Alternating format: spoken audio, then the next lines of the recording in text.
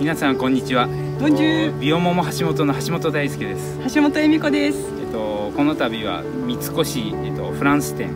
にご来場いただきましてありがとうございます。ありがとうございます。えっと私たちはえっとこちらみ南フランスのベルガードという小さな村でえっと地元のオーガニック食材を使ってえっとコンフィチュールやアーモンドのプラリネあとは生姜の製品を作っています。今私たちが立っているのはこのブドウ畑なんですけれども、こちらにはあの季節それぞれさくらんぼだったり、あんずだったり、えーこちらブドウ、そして奥にはアーモンド畑と広がっておりまして、それを毎日毎日私たちも眺めて、あの空気を感じながら農家さんの仕事を毎日毎日眺めて、でその横で私たちはこの加工してですね、あのこの瓶の中にこの大地の味を南フランスの恵みを閉じ込めています。今回あのコルシカ島産のグレープフルーツと生姜のコンフィチュール、えっと、冬冬の終わり2月3月4月頃に地中海の島コルシカ島で採れるこれくらいのグレープフルーツが完熟するんですけどもそれを丁寧に皮と中身を別々にコンフィに1週間かけて仕立ててして最後に生姜を軽く合わせて、マーマレードに近いコンフィチュールなんですけども、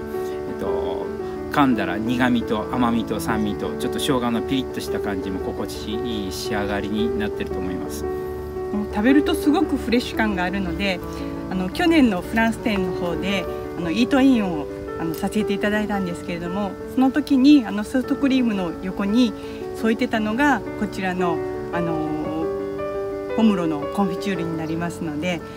ぜひあのご家庭で簡単にアイスクリームとかヨーグルトの横に添えてあのデザートが作れますのでお試しください。はい、でもう一つおすすめ。でこちらは、えっと、イチジクとバラのコンフィチュール、えっと、イチジクはあのこの地元産の表面がちょっと緑とグレーかかったイチジクで中を切ると真っ赤なんですけどもそれを完熟の時期に、えっと、コンフィにしてでそれと、えっと、ちょっと遠いんですけどもコートダジュールの香水の町グラースで採れる香水用品種の、えっと、バラをコンフィにしてでそれを最後に合わせて瓶の中に入れています。でこちらは、えっと、2019年去年なんですけどもあのパリで行われた世界のエピスリーフィンコンクールでちょっとコンフィチュール部門で、えっと、ありがたいことに金賞をいただきました、一応フランス一世界一という賞をいただいたちょっとすごい栄誉ある思い出深い商品なんですけども。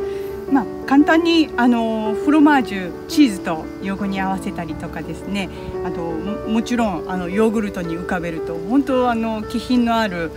一品っていうかデザートの一品になりますのでそちらもお試しください。フランスでよく言うのは、はい。アラキュイエール、まあ、スプーンでこのまま食べるこれが一番の最高の、ね最高の贅沢です。よはい、よろしくお願いします。ろしくお願いします、えっと今回、えっと普通のことが当たり前でなくなった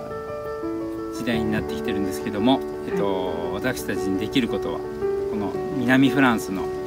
恵みを瓶の中に詰めて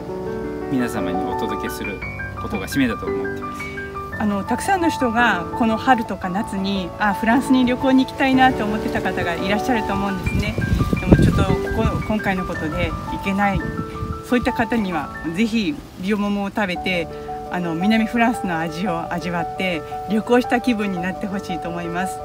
よろしくお願いしよろしくおます願いします。じゃあまたアビアント。アビアント